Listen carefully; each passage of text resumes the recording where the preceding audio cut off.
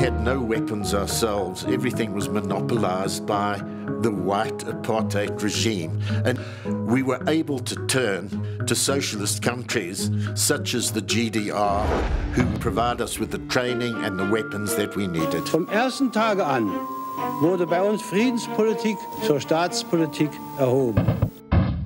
Keep the war going.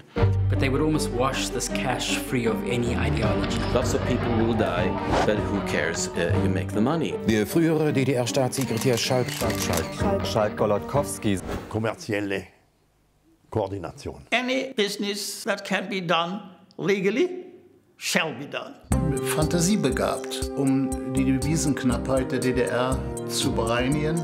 Kommunismus ist teuer, sehr teuer. Wir hatten das Gefühl, dass Häftlinge produziert wurden. Dann hatte er einen bestimmten Preis. Dass ein sogenanntes Gentleman Agreement abgeschlossen wurde. Doch die Sache ging schief und Toshiba drohte das Gesicht zu verlieren. Es gab seit Kriegsende Bankschließfächer und Tresore in den alten Bankhäusern. Da bekam man bei der Stasi die Idee, man könnte doch mal nachschauen, was sich dort befindet. Dass unsere Republik den größtmöglichen Vorteil aus solchen Geschäften zieht. At the end of it, it was just money. Aber das ist schon schräg. Das sind kapitalistische Kommunisten oder kommunistische Kapitalisten, das können Sie sich aussuchen.